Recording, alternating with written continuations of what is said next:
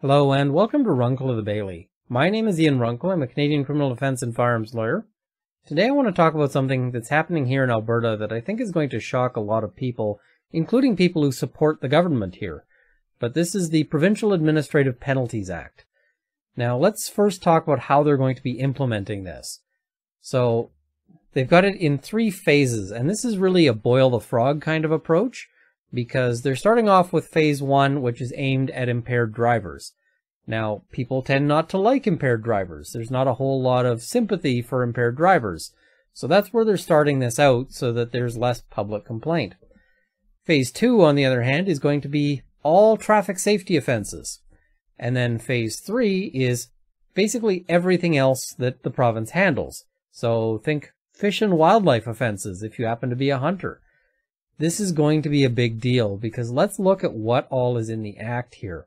Now, part of the proposal, from what I understand, is to replace a lot of impaired driving prosecutions with proceedings under this Act. Now, it's really hard to call them sort of proceedings. They're very much uh, an unusual uh, procedure here. Let's talk about just how unusual because this is a bit of a big deal in my view. So let's start, and I'm going to start in the boring part, I'm sorry, but this is interpretation. So this is setting some of our definitions.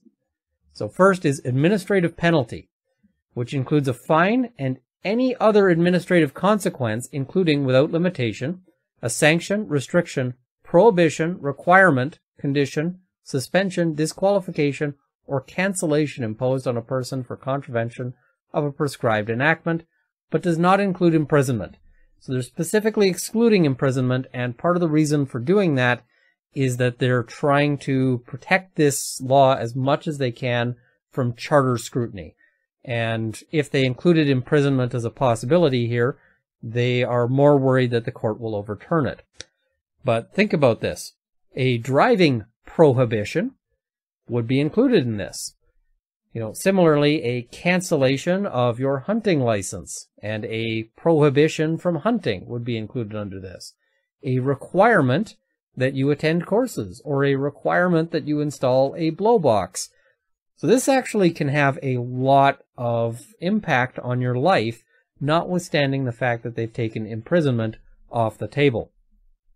Now, contravention is defined very broadly. It includes, without limitation, a failure to comply with a restriction, prohibition, requirement, rule, direction, order, term, or condition imposed by or under a prescribed enactment, or conduct that is subject to sanction under a prescribed enactment, or any other action prescribed as a contravention under this act or a prescribed enactment. So basically, doing anything that they say is against the law. That's a big, broad category. I also just highlighted here medical information because medical information means information provided uh, or created by a person who is licensed or authorized by law to practice medicine in the place where the person practices. Uh, notice of administrative penalty, so they just will send out notices. Let's look at how this works here. So the purpose of the act, so this is where they're talking, this isn't really law here. This is them explaining why they want this law and this is sort of the sorts of things that might be considered by a court when they're deciding if this law is constitutional. So first, to adopt a simplified form and process for administratively enforcing contraventions. Now think, simplified. Who's simplified really likely to benefit? Is it going to benefit you? No, it's going to benefit the government. So simplified means a more direct path between them accusing you of an offense and them punishing you.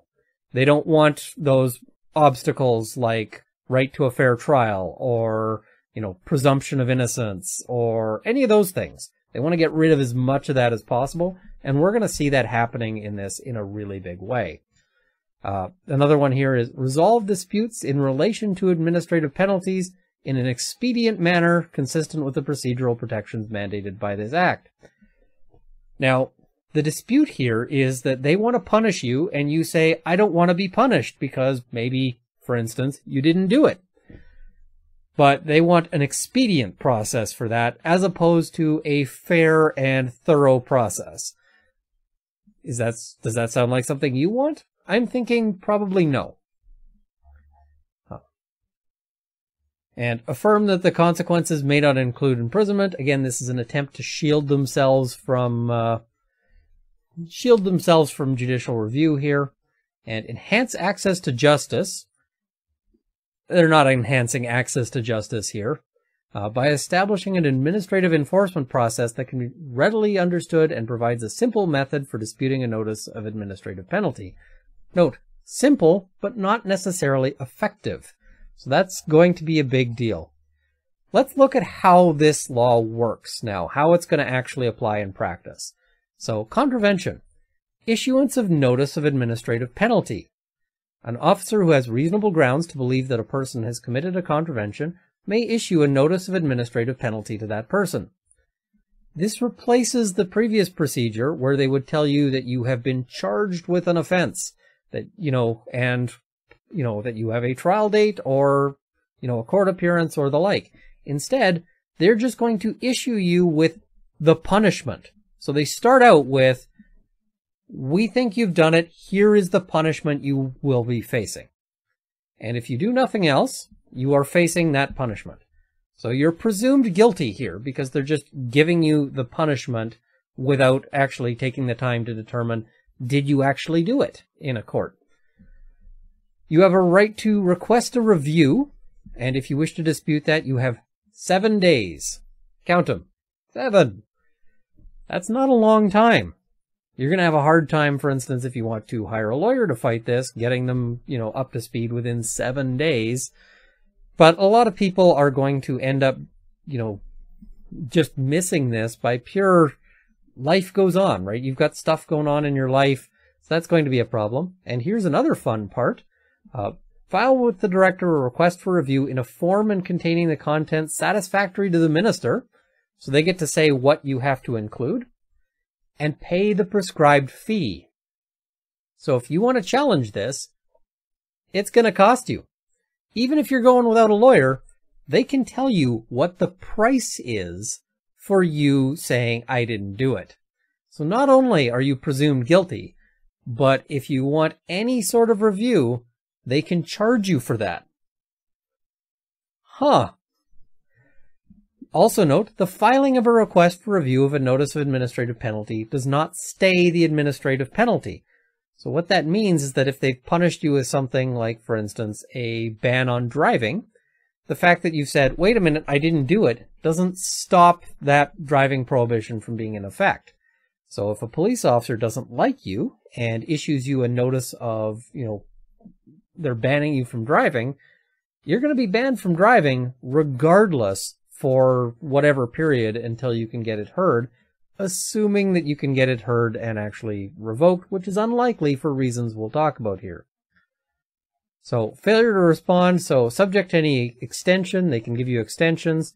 If you haven't filed a request for review, uh, or paid any applicable fine and any applicable surcharge within the period then the fine uh, becomes payable to the crown, and they can come after you for that money. So, and rest assured, they will be coming after you for the money in various ways. They're going to have all sorts of ways that they can come after you to collect. Note also, the director shall, after receiving a request for review and the prescribed fee, assign an adjudicator to conduct the review, which will be a single adjudicator. Note, these aren't judges. These are, you know, not judicial officials. The the it looks like the pool for these people is going to be basically ex police officers and ex park, you know, fish and wildlife officers and so forth. So your chances of getting an unbiased hearing here are not very good. You're going to have an adjudicator who probably is going to be empathizing with the other side before you even walk in the door. Wonderful. Uh, duty to provide records to recipient. So this sounds good. They've got to give you material. It's not so good. Let's look at this. The director shall, after receiving a request for review and the prescribed fee, so if you're poor and you don't have the money, you can't get your justice. Sorry. Nope. That you're just going to have to eat the penalty. That's all you've got. Uh, provide to the recipient, in accordance with the regulations, relevant records as prescribed in the regulations or the regulations under a prescribed enactment. So they get to choose what they give you based on what's in the, uh, the laws there. Unless required by the regulations uh, or the regulations under a prescribed enactment, the director is not required to provide a recipient with any records, representations, or arguments in respect of an alleged contravention beyond the records referred to in subsection 1. So if they have something that you think is important but is not specified, like say for example you want the disciplinary history of the officer to find out if they've ever lied in court before. If it's not specified that they have to provide that, then they don't. Uh, let's say you've got a speeding ticket via photo radar and you want to know have they actually done the required maintenance on this? Is this thing up to spec? Did it pass its last tests? Unless that's in the regulations, they don't have to give that to you. So they get to choose what evidence you get. Does that sound like fun? Does that sound like a fair hearing? Hmm, I'm thinking maybe not. So, subject to subsection 2, which is a limitation period, you've got to give them some time, which is two days. That's not so bad. Uh, and the regulations or the regulations under prescribed enactment, a recipient may provide to the director records, representations, arguments, or evidence in support of a request for review. So you can send in written materials to say why. However, it's subject to limitations. They can tell you what evidence you can and cannot submit, and what arguments you cannot, can and cannot make. Again, this is sounding like a real fair hearing, isn't it? It gets goes even better.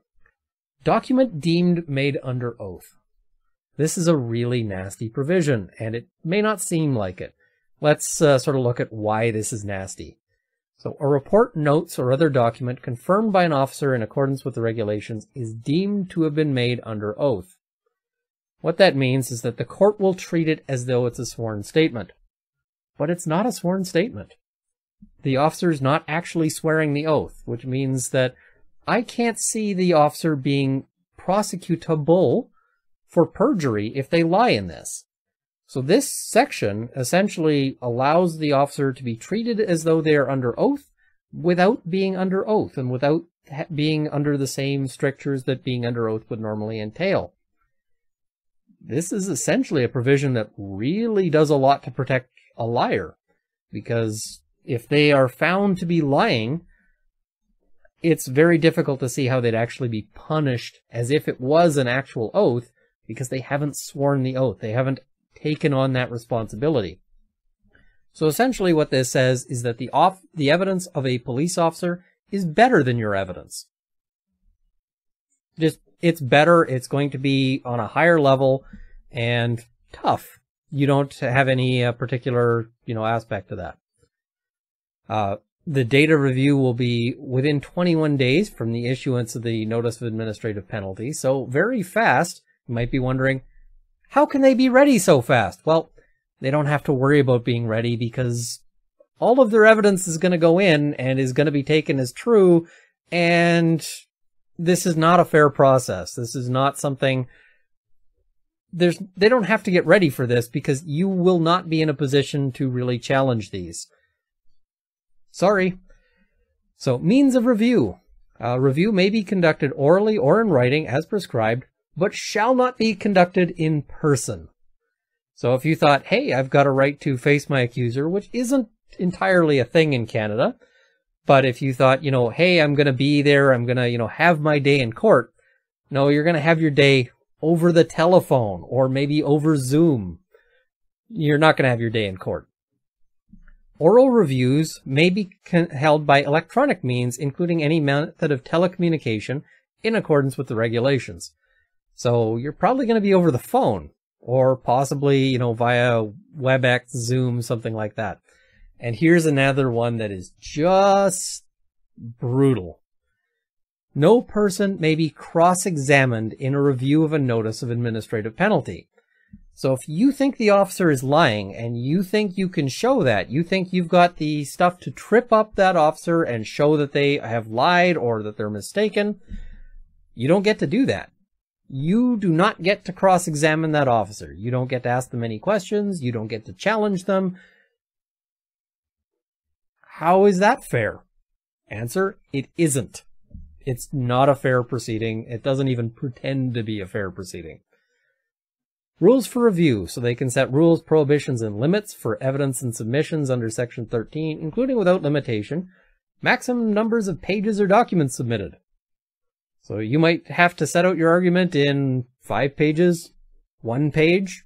They can tell you how long you're, you know, you get to argue for. Maximum duration for video and audio submissions, and types and formats of content. Hopefully they're not going to abuse this by saying it's got to be, you know, compatible with, you know, I forget the old programs that I used to use on my Atari ST, but maybe they could. Content review. The burden of proof in a review is on the person requesting the review. So again, you are presumed guilty. You need to prove that you are not, because the burden of proof is on you because you're the person who's saying, I didn't do it. So none of that innocent until proven guilty. We're going the other way. You're guilty until you prove yourself innocent. And we're actually going to make you do this with both hands tied behind your back. So good luck proving that you're innocent. An adjudicator may, in conducting a review, consider the following records, representations, arguments, and evidence before making a decision. So first, a copy of the notice of administrative penalty. Uh, anything you submit, again, but they can tell you what you can and can't submit. The report of the officer who issued the notice of administrative penalty, which doesn't appear to be limited in any shape or form by page limits. So you might be limited to five pages, and the report of the officer might be 13, and that's fair for reasons. Sorry. Any other relevant records and representations of the officer who issued the notice of administrative penalty or any other officer, including peace officers' reports that have not been sworn or, sworn or solemnly affirmed. But again, even though they're unsworn, they're going to be treated as though they are sworn evidence in this proceeding. So the officer can give unsworn evidence in which he is free to lie, and it will be treated as though it's sworn by this I can't really call it a court. Um, maybe it's the kind of court that bounces? I think there's an animal that does that. What are we going to call that? Yeah. Any relevant scientific, technical, or medical information and documents referred to in Section 4 and any other prescribed evidence or information, the adjudicator can determine the weight to be given, and they are not bound by the rules respecting evidence applicable to judicial proceedings. So why do we have rules of evidence? We have rules of evidence to keep out bad evidence. So, for example, one of the rules of evidence is hearsay, which means if the officer hears through the grapevine, you know, I've heard people talking about how you poached an animal. This is extremely unreliable evidence. And so normally it's excluded from being heard in a court. Not under these provisions. Under these provisions, they're not bound by that.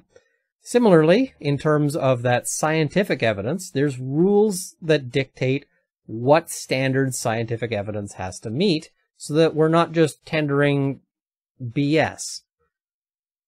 Those rules don't apply. They can tender it if they want to. Do you think that's going to help you in these proceedings? Nope. That is going to hurt you. So, Lots of fun stuff in this particular legislation. Looking at what happens at the review is Division 4, so Section 21 here.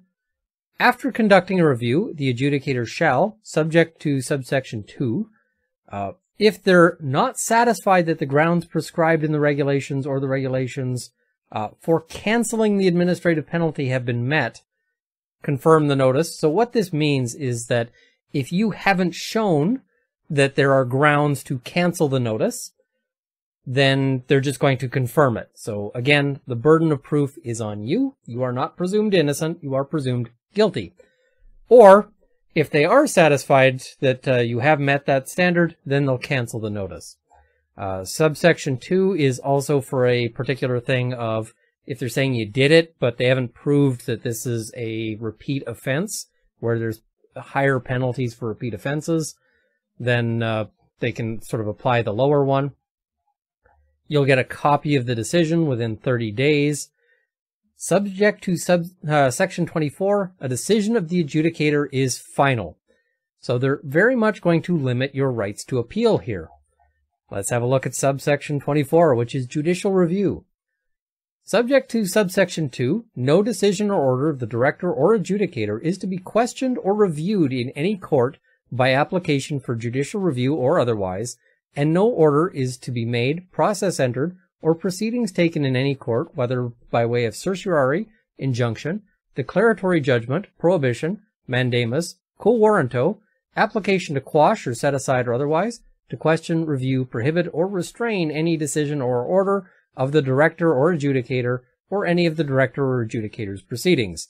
So they're basically trying to say this is some special thing that is immune to all other courts except as we allow.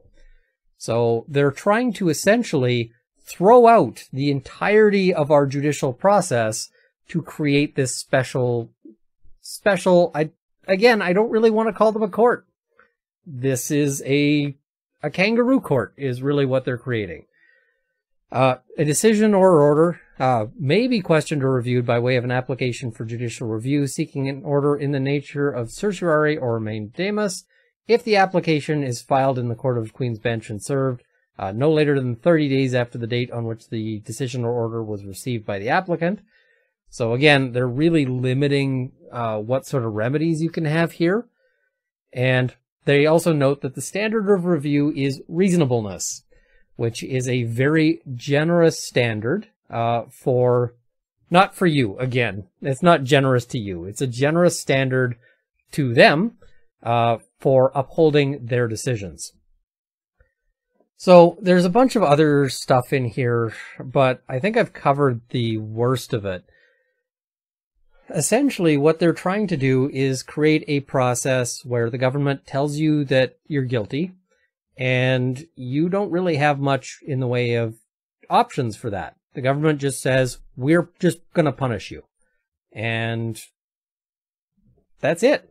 They just get to hand out punishments without proving that you did anything. In fact, if you disagree with it, you have to prove that you didn't do it, and not just prove that you didn't do it, but prove that you didn't do it in this process where you don't even get a fair shake. So this to me is ridiculous. And I should note here, most of the stuff that this covers, I don't do a whole lot of. I've never done a whole lot of. Some impaired stuff, uh, not a whole lot of Traffic Safety Act stuff, some fish and wildlife hunting stuff.